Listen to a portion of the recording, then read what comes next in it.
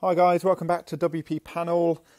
Today we're taking you through how you can change your um, login screen, uh, how you can change and rebrand your login screen and make it look a little bit prettier than the current WordPress login screen, which is basically this.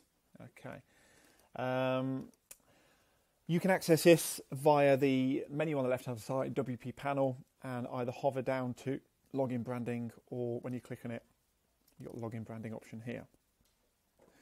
So there's a, few things we can do in a, in you know a matter of clicks to make your login screen look a little bit prettier than it is. So first of all, we've got the logo image, so we can actually replace the WordPress logo, which is here, with a logo uh, a different logo. So I'm going to click insert image and add in a logo I've already got on here.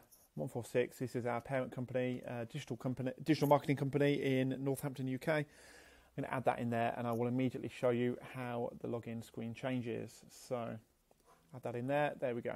That's changed there. Um, you can also change the background colour. So let's just change this to a bright green. Lovely colour. Okay, and that has immediately changed to bright green there when we refresh. Okay. Um, but let's just say you want to add an image. Let's just clear the, the background color for a second. We want to add an image and make it look even prettier. So we're going to go down to this section here, login screen background image. I'm going to click insert image. I've got an image here, um, which is an image of a garden. Click choose image. Okay. Uh, I'm going to add an overlay so you can see the logo and see everything that's happening there. I'm going to add an overlay. I'm going to add a white overlay here. Uh, and I'm going to change the opacity to maybe 0.8. Uh, opacity needs to be between 0 and 1, 1 being not see-through at all. Uh, and I'm going to click Save Changes here. And I'm just going to refresh this. And here we have it.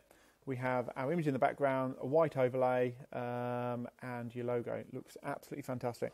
What I can do is if I change that overlay to uh, black, or let's maybe go blue, um, make it a little bit more um, opaque, uh, and change the text color to white.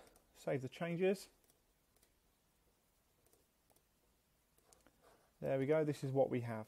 Okay, so that page is fully customizable.